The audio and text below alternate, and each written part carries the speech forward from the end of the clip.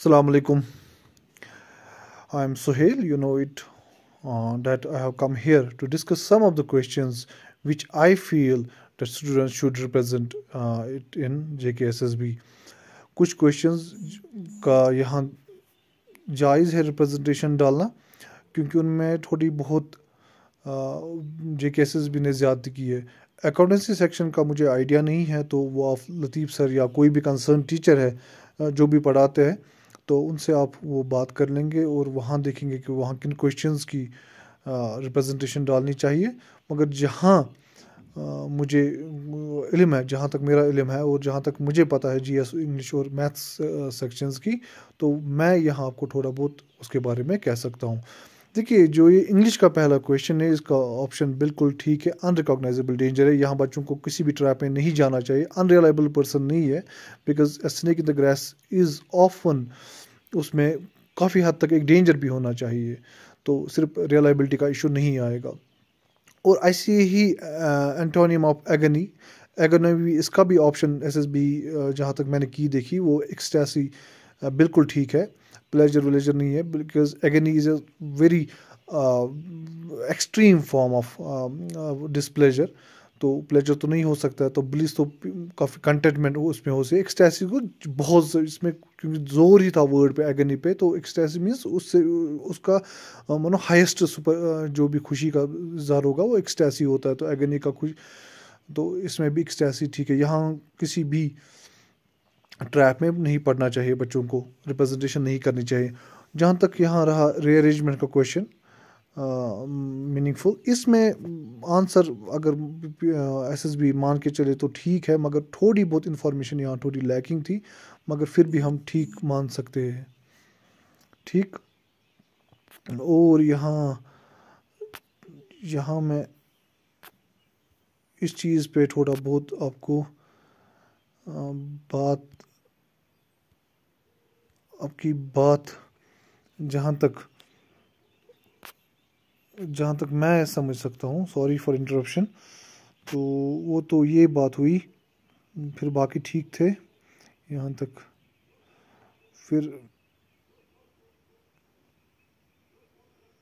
देखिए, ये one and six question जो मैथ्स का है प्रोबेबिलिटी वाला क्वेश्चन या स्टैटिस्टिक्स सेक्शन का ही माने जाए तो इसमें तो पी एंड एस ठीक है, बाकी तो क्योंकि प्रोबेबिलिटीज एस तो और ऑलवेज पॉजिटिव वो तो हमेशा ठीक है।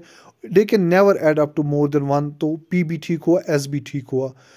तो एस ऑनली तो हो नहीं सकता है। और क्या नेवर बी ज़ीरो तो आ, क्यों प्रोबेबिलिटी ज़ीरो हो सकती है? अगर कोई इवेंट ऑकर नहीं हो रहा है तो उसकी प्रोबेबिलिटी तो हमेशा ज़ीरो ही होगी। तो यहाँ से क्या चल, हमें पता चलता है कि आर तो नहीं हो सकता। तो आर जहाँ से हाँ है, वो हटाएँगे वो ऑप्शन और खाली पी एन एस रहेंगे। इसमें ऑप्शन ए ठीक होना चाहिए। तो जहाँ पी एस सी ने J K S S B ने ऑप्शन बी दिया है शायद तो यहाँ आप रिप्रेजेंटेशन कर सकते हैं। ऑप्शन ए डालिए आप वन एंड सिक्स क्वेश्चन की रिप्रेजेंटेशन डालिए।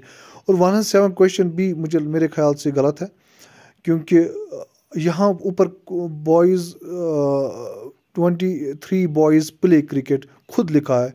तो मगर ऑप्शन उन्होंने दिखाया है C boys who play cricket C two C को टू के साथ रेफ़र किया मीन्स टेन स्टूडेंट्स तो ये तो गलत हो गया तो ये तो कोई मेल नहीं खा रहा। है ऊपर खुद ट्वेंटी थ्री बोला है कि twenty three boys play cricket तो तो टेन ही कहाँ से बन सकते? तो यहाँ वो खुद ठीक कर सकते तो बाकी ऑप्शन इसमें क्योंकि वहाँ ही एक, वहाँ ही फ़र्क है। जिसमें सी ओ डी ऑप्शन में तो सी फोर तो नहीं इसमें सी टू नहीं हो सका क्योंकि खुद लिखा है, ऊपर twenty three boys play cricket तो नंबर ज़्यादा ही होगा टू से टेन से तो ज़्यादा ही होगा it it should be forty ठीक? बाकी यहाँ से मैथ के क्वेश्चन बाकी ठीक है, और अब रहा GS portion sorry for wasting मैं आपको सिर्फ़ आगाह कर रहा हूँ कि किस, किन किन क्वेश्चन में प्रॉब्लम है। देखिए अजंता केव्स वाले question number fifty seven Ajanta caves वाले पे आप ध्यान दें। अजंता केव्स में क्योंकि ये इसमें तीनों के तीनों ऑप्शन बिल्कुल ठीक है। They are believed to be made in Gupta period वाका period all though they are they started early but their main development started main development took place in this period तो इसमें तीनों ऑप्शन ठीक है। तो मुझे नहीं समझ आ रहा इसने गलत क्यों दिए और ऐसे ही इसमें एक क्वेश्चन था दिस वेशो नाला which the following is not a tributary of Jhelum river देखिए Verinag is the source of everybody knows it but जो ये रोमूशी है रोमूशी है it's it's it's a tributary of Krishna river तो उससे ये बिल्कुल वाजह होता है कि नहीं, ये तो इशू है। यहाँ तो बहुत बड़ा इशू है। ऐसे ही एक क्वेश्चन था जो मेरे ख्याल से वो गलत था।